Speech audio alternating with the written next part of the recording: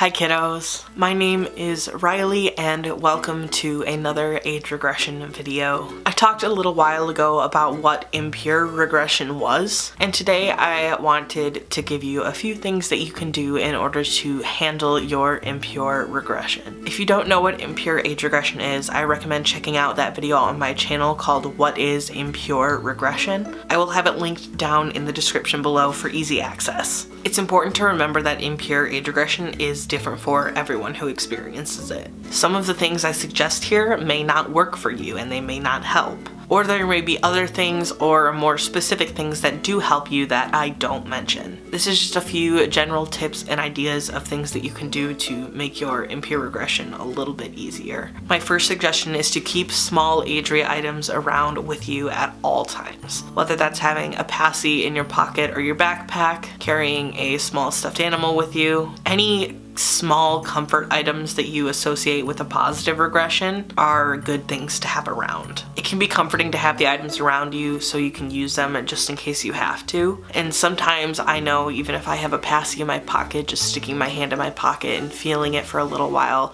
kind of helps distract me. This tip especially goes if you go to school or college or work. Bring small things with you in your pockets that can comfort you. My next suggestion is to learn and practice breathing and grounding techniques. I'm sure if you deal with some mental health issues, you have heard of this before, but it can help slow your heart rate and reduce racing thoughts if those are some things that you deal with when you impurely regress. It can also help get you back into touch with reality and your rational and logical mind. So if you're impurely regressed and you're freaking out, one of my personal favorite grounding and breathing techniques is to plant your butt or your feet firmly on the floor. That way there is some physical grounding going on and you breathe in for three counts, you hold it for four or five counts, release for six counts, and hold that release for two counts. Breathing out longer than you breathe in is scientifically proven to help reduce heart rate. So if you're dealing with some intense anxiety or panic regarding some trauma, it may not solve the problem, but it might help the physical and mental symptoms a little bit. My next tip is to make use of sensory toys. They are very, very common for everyone to use and have,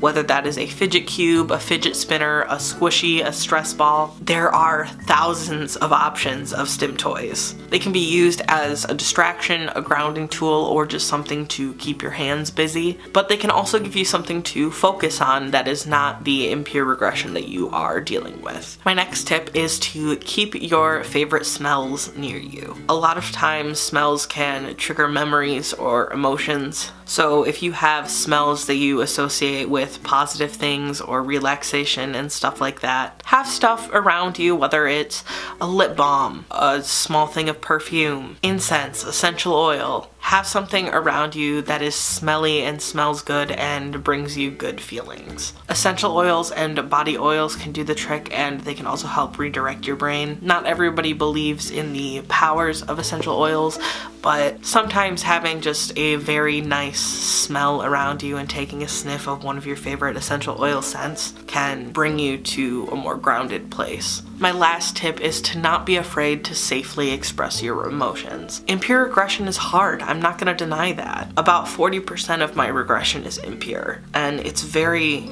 very hard to deal with. And a lot of times you're just sitting there bottling up your emotions. You don't want to let anybody or anything know what's going on, especially because a lot of times impure regression is caused by very difficult things. But expressing your emotions in a safe and harmless way is so important. Whether that's just sitting and cuddling a bunch of your stuffies and crying, or it's doing vent art, writing in a journal, or talking to a friend. Expressing your emotions in a safe environment and doing it in ways that don't harm you are very important and they're tools that will help you in general life as well, not just with impure regression. I hope this video helped a little bit or that you at least got something out of it. If you have a friend who is struggling with impure regression, feel free to send them this video. If you would like to see more content all about age regression from me, I post on this channel two to three times a week. So definitely be sure to subscribe.